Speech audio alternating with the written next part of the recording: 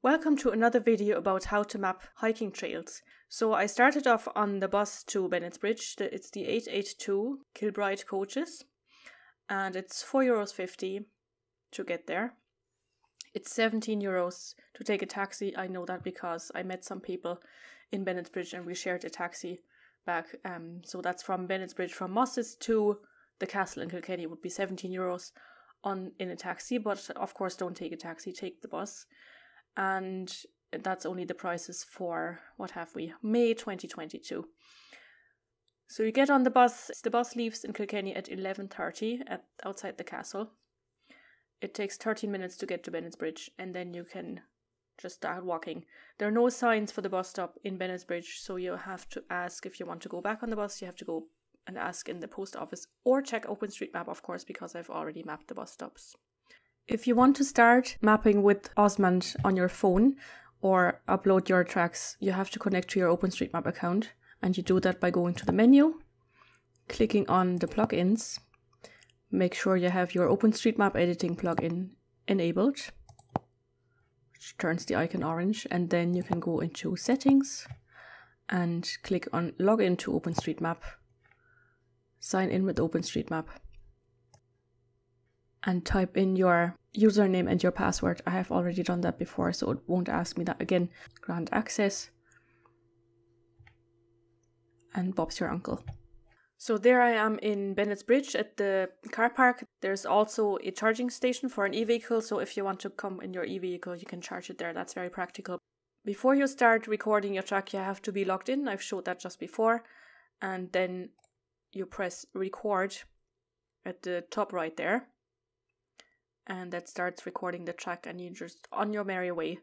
And the little arrow there will follow you around. And if you have activated it it will follow you around and show the track that you've walked. And the logging interval there is five seconds. You can change that if you want to but it worked for me so that's that's grand i think for walking. And you just press start and it starts recording your track. And when you're finished you click on finish and then you can rename your track as well if you want to. Which makes sense if you do this a lot or just to be a bit more organized. And to upload your track to OpenStreetMap, you go into Menu, My Places, and you might have renamed your track to what it's called, in this case, O'Gorman's Loop. And you click on that in your list of tracks and click on Upload to OpenStreetMap. And you can add a description you have to add a description, I think, to upload. You can put in whatever. And then you can change the visibility to private there and click upload and that should upload it to OpenStreetMap and we'll check what it looks like there. So the trailhead is here, this car park, and I've decided to map the tracks first or the pathways that aren't mapped yet because there are quite a few and I will do the rest in the next video and I might actually split it into three, I haven't decided yet. But in this one we will add the missing pathways.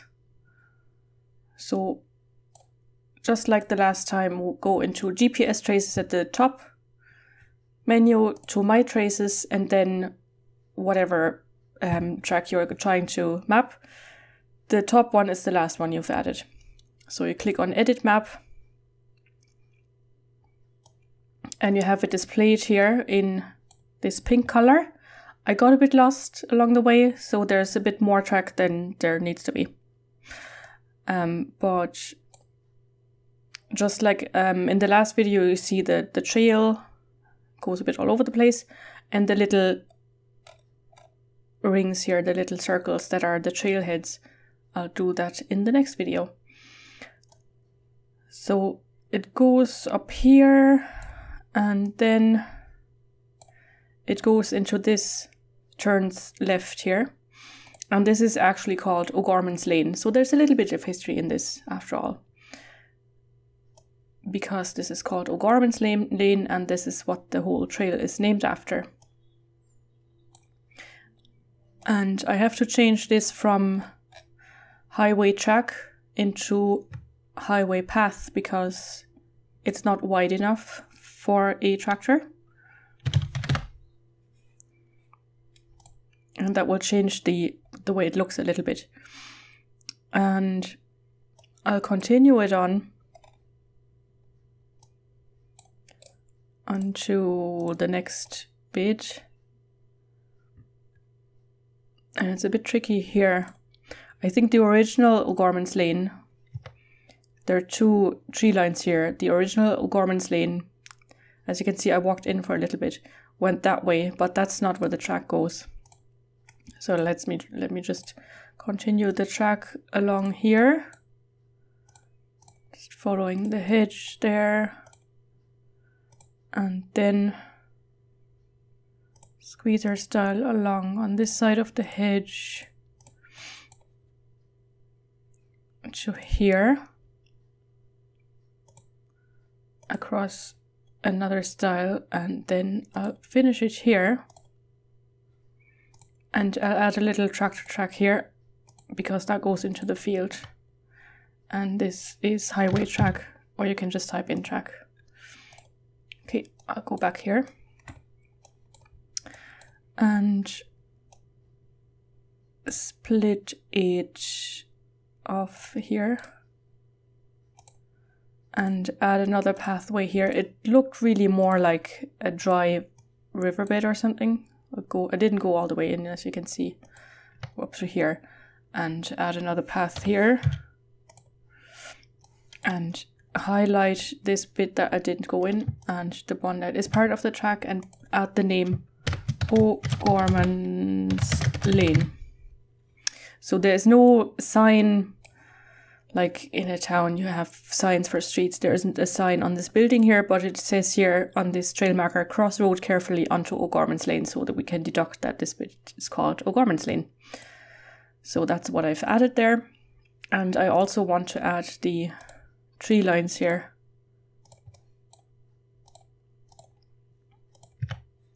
And um, tree row, sorry. You can type in tree row and the correct tag is natural equals tree underscore row.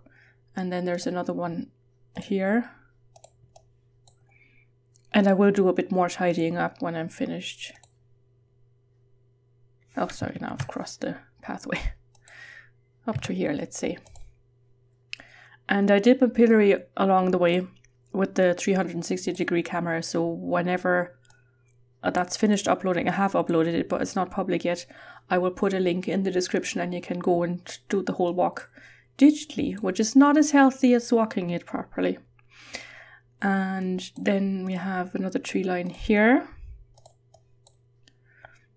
flanking the O'Gorman's Lane and another one here that it doesn't go quite as far.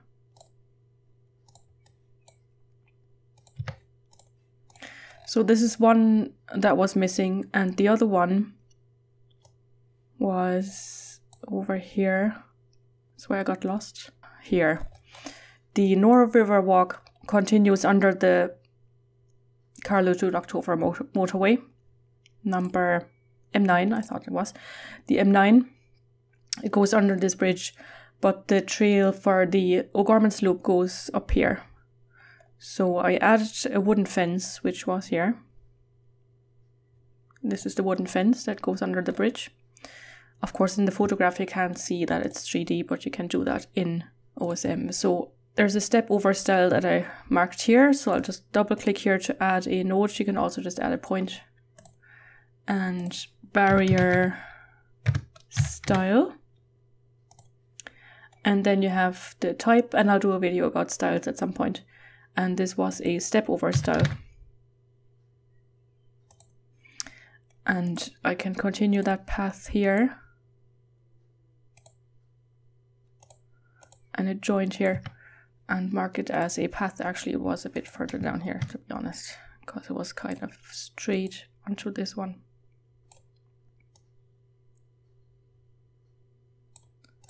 that'll do nicely. And then I walked up here and there's another pathway here.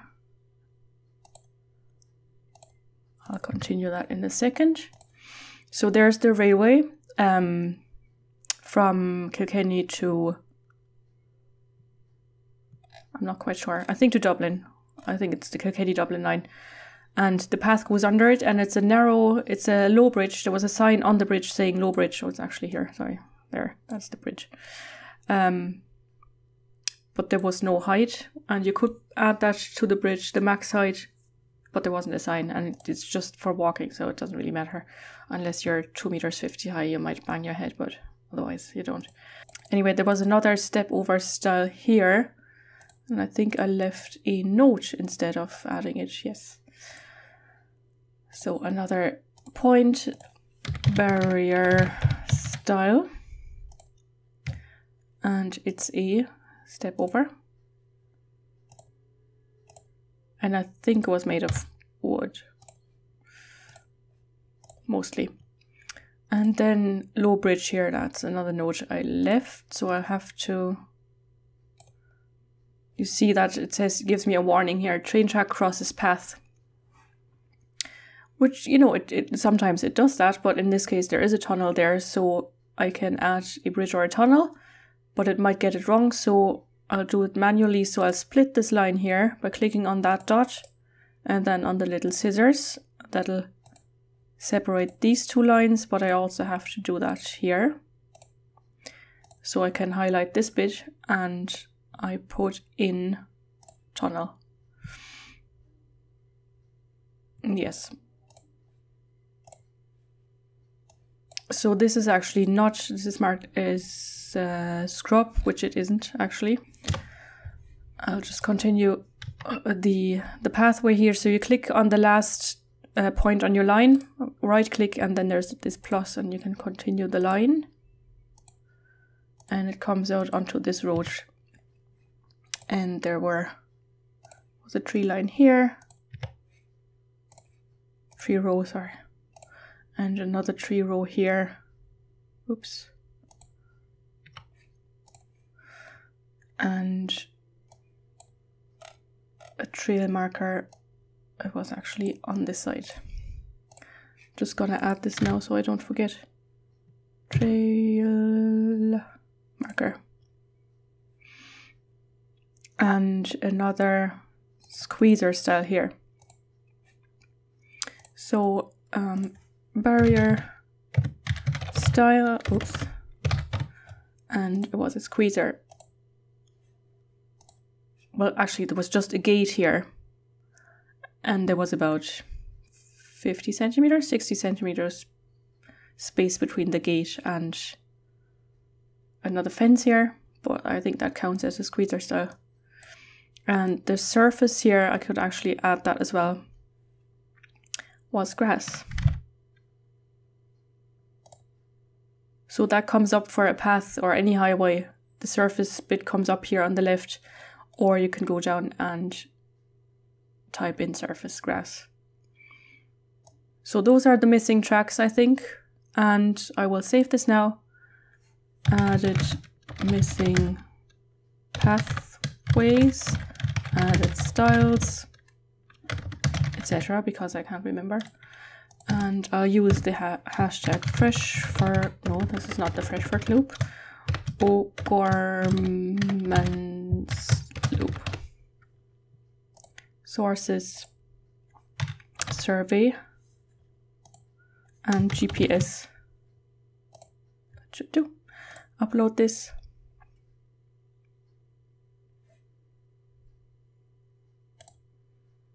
And go to the OpenStreetMap website, openstreetmap.org. Wait for a little bit and then I will refresh the page and see if the pathways are showing. I mean, there should be. Can I also point out, while we're waiting, how wonderfully all these field names are mapped here around Bennettsbridge. There is a lady living near Bennettsbridge, and I got her started on mapping, and she went around during lockdown and mapped all these field names, and it's amazing. And there's a lot of history in those, like the Kiln Field, for example, and some are Oscuelga, so a really, really great job that she did there. Ishkabaha, you know, Ishkalusach, I don't know. So, great stuff there. I think we've waited long enough. Uh, the pathway should be here. Refresh. It's actually over here because it was next to the building. Oops. So um, we have O'Gorman's Lane here now. I might have forgotten to put it on this one. I thought I highlighted both. But we have the pathway now. The pathways are uh, red dotted lines. And you see it joins the trackway there. So that's one. And the other one is here. So it goes under the railway. We have the stile here, the pathway with the three rows, and the other stile here. And I shall see you in the next video when we're going to add the relation for this loop and then add a few things to the relation. I won't do the whole loop in the video because it's going to be too long. See you in the next one. Slan!